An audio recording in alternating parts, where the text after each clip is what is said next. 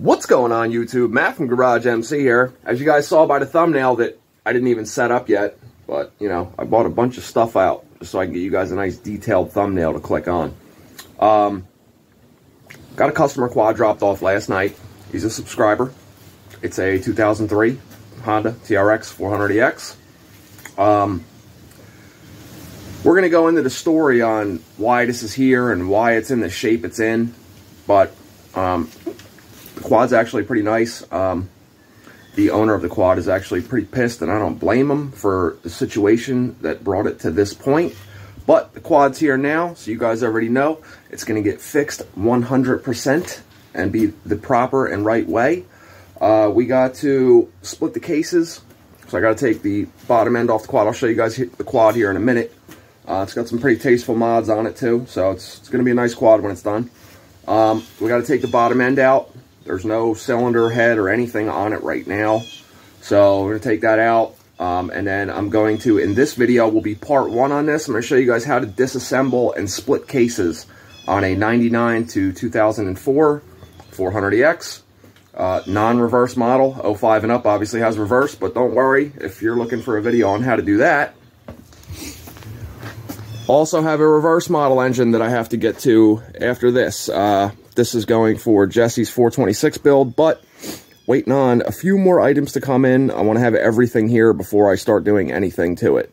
So this is the one we just took off of the one that you guys seen me strip the other day. So um, let me get everything all situated and then I will uh, lay out all the parts that the subscriber Mike dropped off with the quad last night, let you know what we're doing to it, and then we'll get into splitting these cases.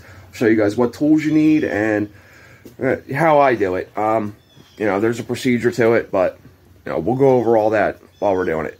Stay tuned, pull up a seat, let's get it.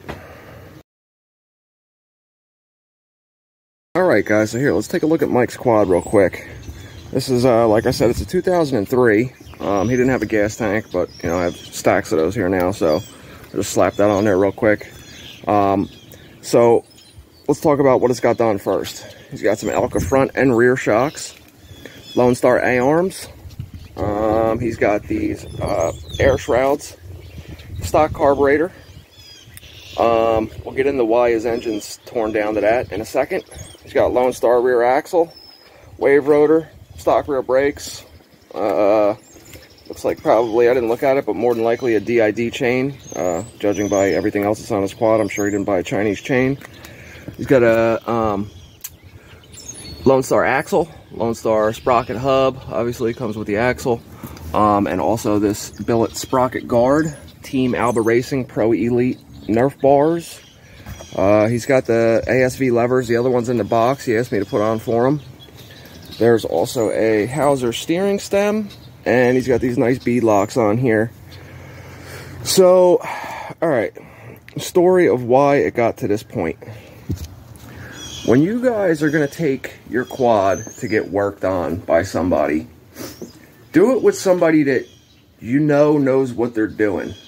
So, I don't know how long, and Mike, when you watch this video, drop a comment down there and let people know. Um, I mean, if you want to tell them who it was, that's up to you. I don't normally, you know, do negative stuff like that, but, I mean, you're free to say whatever you want in the comments. If you want to give everybody else a heads up, I'm sure they'll want to know if they're in your area to not go to that guy.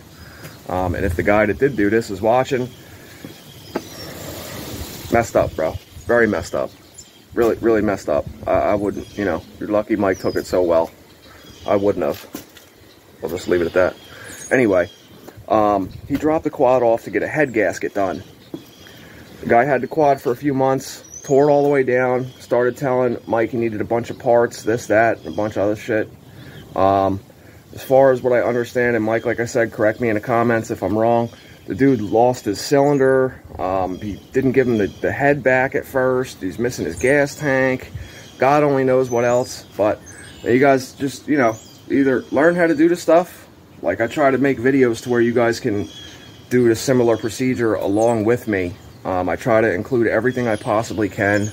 Sometimes it's hard to get camera angles and show you guys exactly what's going on, but I try and do my best with that. But um, what we're about to do today is not that complicated, man. I'm going to take the, the bottom end off the quad, off camera. I mean, you guys have seen me do that before, but I'll give you a quick rundown. Uh, you got to disconnect the clutch cable. You got to obviously take one, two motor mounts. Um, if your top end is still on, you got the motor mount up top too under the tank and heat shield that should be there. Um, and the rear pivot bolt has to come out. Then you take the engine out. Uh, obviously, unplug the stator, the starter, um, any other wires that are going to it, and your oil lines, and motor comes right out. Um, chain as well. So there's a couple, mm, well, it's probably not a couple things I'm missing, but you guys know what I'm saying. So I'm going to take that off off camera, and then we'll get it over on the bench. Before I take it off the quad, I'm going to remove uh, like the clutch assembly and stuff like that. That's just easier to take out while it's still on the quad. And then I'll pick back up with you guys. When we pick back up in this, I'll lay out all the parts that he brought me show you guys where it's going, like what his plans are, what he wants done with it, and then we'll get to splitting these cases. Let's go over the parts that Mike brought me. So we have from BPRATV.com. You guys already know he called and used my promo code, saved himself a 10% amount off of everything he purchased from them. Um, I'll give you guys the promo code. It's right here. GMC10, 10% off. BPRATV.com.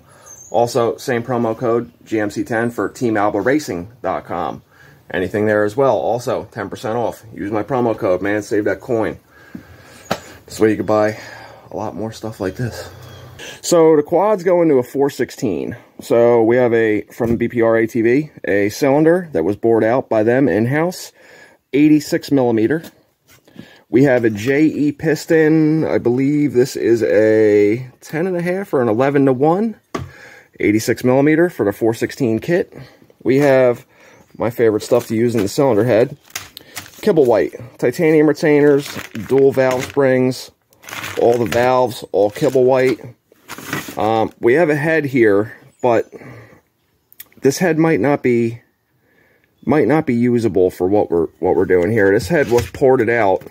Um, the exhaust ports look really good, but you guys let me know in the comments, man. Am I bugging or does that just look like the crappiest port job I've ever seen in my life? That does, it's not even even. Like, all the porting favors this side, and then this side is like, it doesn't even match. And it's hogged out, like, heavily. Just for a little bit of reference here. Here's a stock one. Let's see if I can get you guys an angle. See the difference there? That's like, that's a lot, man. And for it not being even, I mean, come on. So, I don't know who ported this. Um, I, I believe he said BPR, but this is not their work, guys. Somebody touched this intake port after they had it. This is BP's work. Right here, you guys can see the exhaust ports. I mean, that is beautiful. The seats were all done real nice, everything. But somebody definitely touched that intake side after um, it was done by BP. So, might not be able to use that. It might be a little too far gone because of how much material is taken off of that head. All right, next things we got OEM valve keepers or for the retainers. We have OEM the uh, nuts for the exhaust studs. There's four studs in the head, or well, in the head we're going to use is going to have four studs. So instead of having two bolts and two nuts with studs, it's going to be all four studs. I always do that to any of them anyway. Um, we got new chain sliders for the timing chain we got here? That's uh, that's for bolting it inside the case, the little collet, the washer, and the bolt. We have a heavy-duty timing chain. We have the titanium um, head studs from BPR ATV. These are all titanium too, guys. The, the, the stud, the washer, the 12-point nut, all titanium. Um, believe they're called their Max Lock head stud kit. Um, timing inspection hole caps from Tusk. Brand new OEM crank bearings from Honda. Brand new Honda OEM crank. Uh, OEM cam bearings, cam gear, and a stage 2 hot cam, Cometic gaskets, and that's about it. What other stuff that came with his quad? He's got a full RS2 Yosh exhaust. Um, the other ASV lever I got to put on, and a uni filter. Uni, uni, whatever you want to say. You know what I meant. All right, let me pull that bottom end and we'll get to splitting this. All right, guys, I got the bottom end pulled off of Mike's quad here. Um, one key thing when you guys are going to do stuff like this, more important than any tools, you, well, the tools are really important too. Uh, we'll get into some of the tools that uh, you need to do this as I pull them out and use them. Um, organization, man. Organization is, is huge. Uh, as a matter of fact, over here on the rest of my bench, by where I have the engine on the engine stand now, I'm going to get all that cleaned up. I'm going to put some paper down. Uh, I'll show you guys what I do. Um, it's, you know, it, one, it helps with cleanup. You know, it's like using tin foil on a baking pan. You just roll it up and throw it out when you're done. But organization is, is huge. So I have all his stuff over here. Um, that's not his stator cover. His I left uh, connected, and it's just sitting on top of the airbox. I just, I, I, always have extra covers laying around, guys. I'll just throw the bolts back in the covers. This way nothing gets lost or wherever it go. There's no wasting time trying to figure stuff out later. Um, this expansion tank does not go to his quad. Uh, this goes to my buddy Tim CR. He broke that tab off. I had to re-TIG weld that on there. He'll be getting that back today. Um, but yeah, organization, man. Organization is huge. So I got to clean all this stuff off of here. And uh, I'll give you a little tip in the next scene. I'll show you how I have it laid out. Um, it's, it's, it's super simple. But uh, I have videos tearing down the clutch and timing chain section on a 400EX, so I'm going to do that off camera. Um, I have videos for that, so if you guys are looking for that, check out my other videos. There's well over 100 120 full-length videos uploaded, so um, just basic stuff. Uh, the oil pump gear just comes off. Um, it's just these 5 10 mils, and then I believe there's a 27 mil underneath there, uh, you know, off the top of my head. Um, it's the same as this size here. But um, just take that off, take primary drive off, oil pumps at 310s. I'm gonna take the oil screen out. And then when I get that stripped, we'll start, uh, I'll start showing you how to split the cases on this, starting with the, um, the uh, flywheel. And then I'll tell you how many bolts there are and show you the procedure on that. And then we'll get out our case splitting tools from Tusk and our crank puller tool we're gonna need later. Um, and yeah, so let's let's get into this, guys. Let me clean this up real quick. Get all organized here. The last little bit that I got to do. And, uh, yeah, here we go. All right, so I got the whole clutch side disassembled to where I'm going to start showing you guys uh, how to split the cases on this TRX 400EX 99 to 04, non-reverse, blah, blah, blah, blah, blah. Um, like I said before, guys, if you need to know how to do all this stuff, check out my older video. Um, I, think it was a timing chain and sliders titled, something like that. Just look through them, you'll find it. Uh, a lot of 400EX content on my channel if you don't already know that by now. But, so here's what I do to stay organized. I got my table with paper laid out. So the first part I take off will normally be, when I put it back together, the last part to go back on, like in a perfect world, right? So the first part that comes off, clutch assembly, is the furthest part away. So I'll start putting it left to right. So, and then, I mean, I don't need to tag the stuff, but I'm just doing this to show you guys, like, what you can do. Um, you know, I'll tag each part. So that came off first. This came off second. Primary drive gears. And then here's, actually, as a matter of fact, I didn't wipe this off yet, guys. I wanted you guys to see all the stuff that was on inside Mike's engine here. A bunch of little, little bullshit all over the screen. Um, as long as you clean these screens out, man, they're, they're, reusable unless this rubber coating that's on it is all dried out, but it's usually not the case. It's always, you know, in oil. So, I mean, you guys see what's going on here. So as I continue, you know what I mean? Uh, it'll keep going this way and then do, do, do, do, come back over. And, and then when I get to the end and everything's all apart, when you go to put it back together, you just start here and start working your way in reverse. Hence the reason I said the first thing to come off is the furthest thing away. So we start to do reassembly. You, you guys know what the hell I'm saying, man. I don't need to explain it anymore.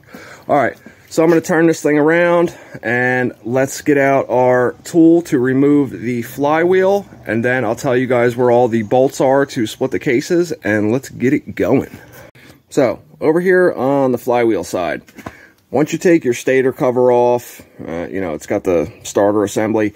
The starter gears in here, these just, you can either just pull this pin out or pull the whole assembly out, but this just, just pull this sleeve out. So there's your other half of your starter assembly there. That's all that holds that in. There's no clips or nothing. This is the 17 millimeter that when you open your timing inspection hole, this is what you're turning to get your motor over to top dead center. Like if you can see these marks, like here you got the fire mark and then T for top dead center. That's, you know, when the piston's at the top of its stroke. That's how you would set your timing. Um, you know, we'll get into that later on in this video. You guys see me do top ends before, so is basically going to be, this is part one. Obviously, like I said, just tearing down and splitting the cases on the 400EX. Part two, We'll go over putting seals in, the bearings that we're replacing, and how to put the cases back together with the transmission, forks, all that good stuff, shift drum.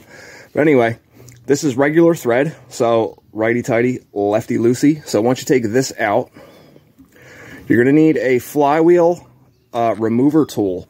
Tusk makes it. Here's what it looks like here. Comes in this package. Um, I usually label mine and keep them in the packages because I have several different ones for several different machines. Um, or you could get an M20 by 1.5 by 1.5 bolt. That's, uh, I mean, you could do that too, but I think these are like 15 bucks. But, I mean, you could go to the hardware store and just get a regular bolt. But, I mean, this has a nice flat surface on it and it's designed for it. So, once you take your 17 mil out, and on the back of that 17 mil is this big, thick-ass washer. Make sure that's there. So you would thread this in and make sure when you go to do this, man, you bottom this all the way out. Get it nice and snug by hand. All right. And then you're going to want to take your rod that's sticking out because if you don't do this, you're going to smack that rod around. So you want to get it on the, you want to get it turning counterclockwise. So have the rod not in, not in this position. That would be like when you're loosening the bolt. So now that you're going to be tightening the uh, flywheel removing tool bolt, you get it over here, hold this down. I usually use a screwdriver like this that's got flat surfaces so it doesn't damage the cases. Um, and then you would take your impact gun and just go ahead and send this puppy home. And it will pop the flywheel off, just like you see it starting to pull itself off now. And let me get this out of my way here. So this will come off. So inside here, that's your one-way bearing for when you're starting, so it only spins one way. Now, we can put that to the side, and that's magnetic, so just, you know, when you start taking the stuff apart, you could leave it all together like I usually do, like I put the clutch back together.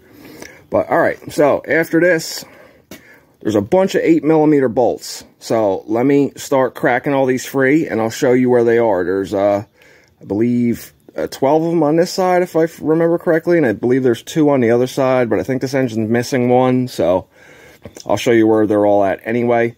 So let me get that set up. I'll crack all those free, and then we'll get to splitting this. All right, so the 8 millimeter bolts that got to come out of the case, guys. You have 11 on the stator side. They're all around the whole perimeter of where the case is split, and then you have two on the clutch side. The two on the clutch side, you got one here, and you got one over here in the front. So I'll show you guys the other side where all these other 11 bolts go. Um, and this is what I do.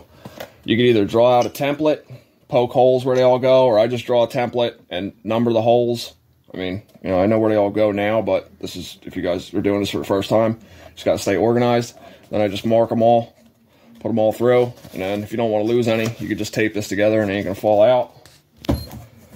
So the 11 the 11 to go on the other side. All right, so here's where the 11 go on the stator side.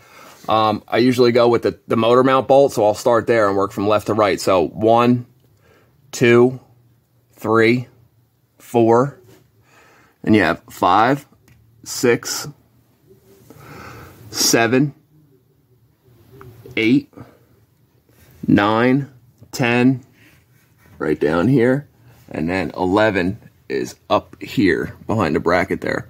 Well, this is the bracket for my motor stand, but that's the 11 to go on this side. So then, now we have all of our case bolts out. I'll go ahead and set my stand up. This is a nice stand, man. If you guys are going to be doing engine builds like on the regular, I would definitely recommend getting one of these. It makes everything a lot easier. You can tilt this all the way up 90 degrees, which makes it good when you're putting everything back together. Um, I also took the sprocket off the other side. You don't need to do that right now because everything's going to stay in the left side engine case, but you just got your two tens And then this lock pin here sits crooked so it doesn't let it slide off the teeth. I'll just take that off now because I'm going to do it anyway. Now you got two tens in here. This is your return spring, and then this is the shift star.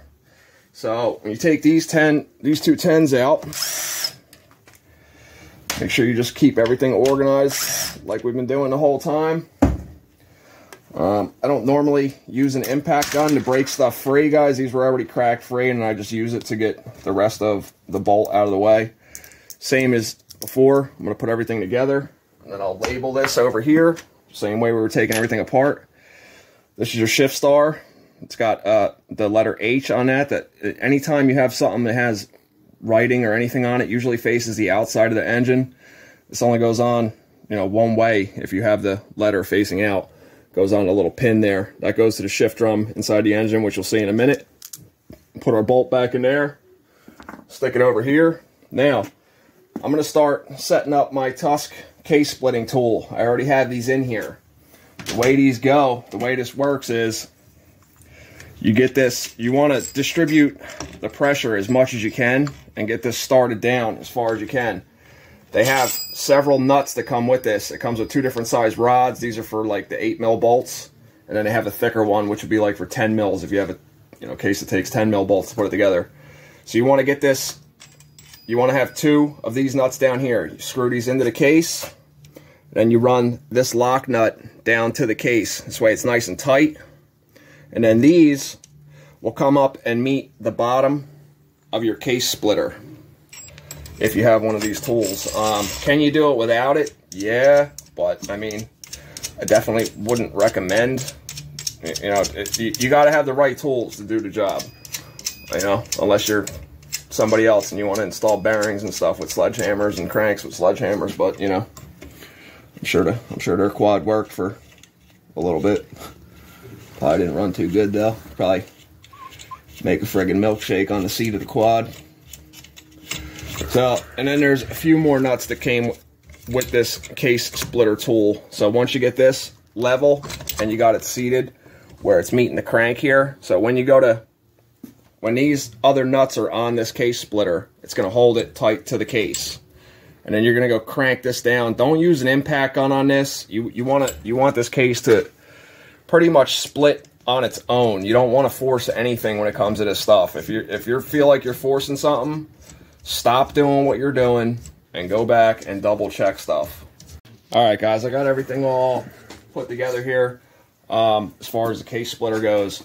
I started cracking down on it just a little bit to get it set so I could film it for you guys. It, it already started coming to, coming apart over here, so we're good so far. So like I said, I do this by hand. So this is the same, you know, righty tighty, lefty loosey. Just give it a little, give it a little crank, you know, turn it down a little bit. Keep, keep it coming. Now, if you see it starting to split uneven like this, there's a dowel back here. So don't, I, I mean, let me say it this way. I don't recommend sticking a flathead in here on a gasket mating surface and prying stuff apart. I mean, if you have a really good feel for it, you can.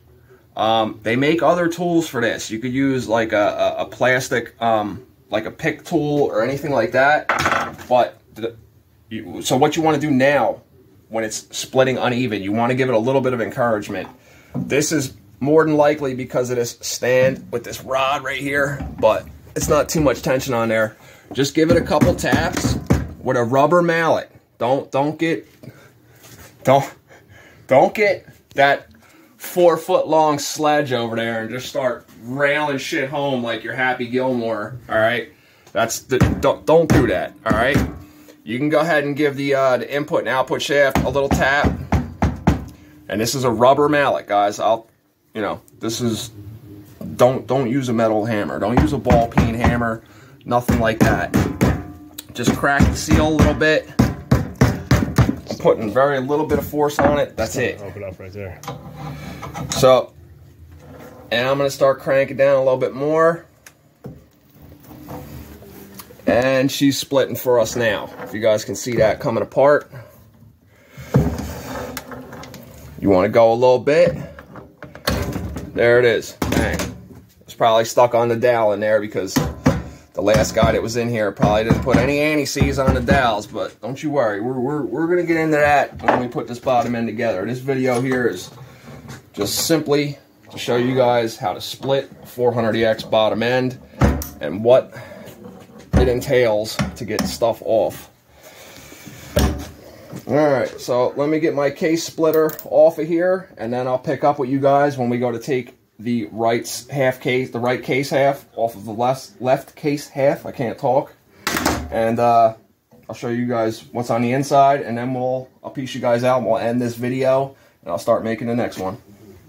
Alright guys, I got my case splitter out of the way you want to, if these are sticking, you want these to stay with the, the left side case. You don't want them to pull out because, especially if you, if this is the first time you've ever done this, you know, you're, you're not going to really know if something falls out, but just a little tap, little tap, tap, tap, a roo, you know what I mean? These weren't sticking, I'm just giving you a little demonstration.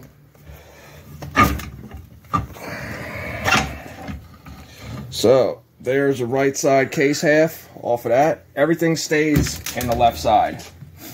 So, I mean, this is the inside of your trans. Whoa, whoa, whoa, whoa, hold on, hold on. Am I about to end this video and you didn't smash the subscribe button or even think to be courteous enough to smash the thumbs up button at the very least? It don't cost you nothing. I hope you're not one of them guys, but anyway, see you in the next video. Back to the ending of this. In the next video, I'm going to show you guys, we're going to pull the trans out, we're going to pull the crank out with the right tools, show you guys the tools that I use, and then we're going to go over um, cleaning. Uh, I'll clean this stuff off camera.